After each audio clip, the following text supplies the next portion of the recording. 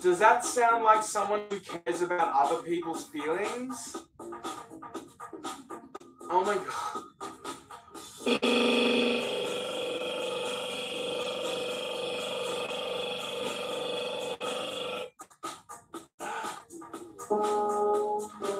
What?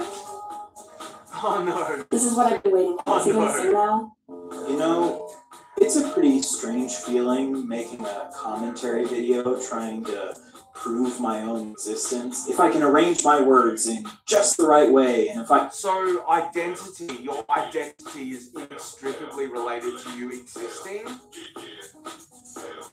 So if I don't have an identity, I don't no longer exist. Do I still have a personality? Do I still have a physical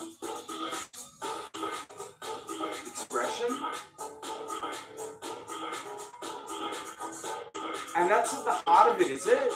That you are not a human being if you cannot identify as something. If you do not identify as this or this or this or not this or not this, then you don't exist.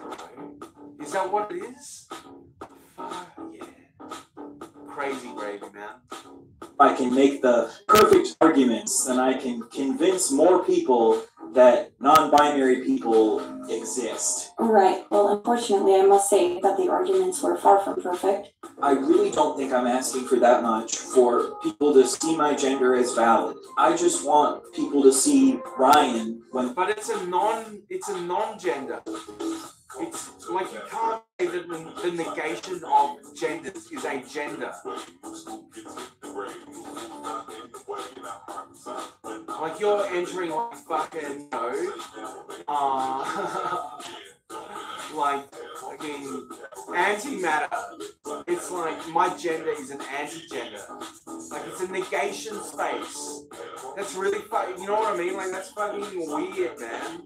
Like to, to think that yeah. I, I, I just want to use look at me instead of seeing a man. But you said so yourself that your gender expression is male. So what is your solution to making people see you as Ryan? I'm confused. Do you want people to just see you as your name?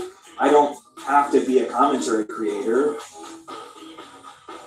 Neo pronouns are nouns. Are they not? My name is Zizir. Hey Zizir, how are you? How's Zizir doing? You know, when there is no, when, when, when there is, you know, when you are not being grouped together with the cohort of things that have a similarity with you, that's not a, then it's not a pronoun.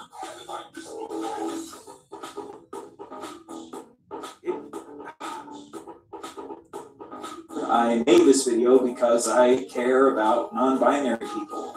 If I don't cover this no, you care about your own perception and your own weak spirit and your own identity that's based on a negation of something that's got nothing to do with fucking identity anyway. So, fucking play your stupid baby song now, you fucking idiot. topic, then it feels like I'm letting the other side win. But according to you, you and I as commentators on YouTube only do it for attention. But now you're saying you're doing this for a larger purpose by trying to help non-binary people. But how's it do? Consistency, and he's talking about non-binary people, but then he conflated it with trans people. The consistency, man, it's as fucking inconsistent as a fucking as a as a fucking teacup party in man. What crossed your mind that I also care about the issues I'm talking about, specifically children being allowed to get these surgeries and sharing these stories from detransitioners because mainstream media won't? Am I incapable of genuinely caring about these people just because we disagree on this particular issue? And if I show any sort of emotion, if I get angry, if I show any sort of sign that all of this upsets me, then I'm triggered and I've lost the argument and the other side wins. Well, he did get triggered. He did get personal. He did pull fucking passive aggressive fucking sissy ass fucking bitch tactics.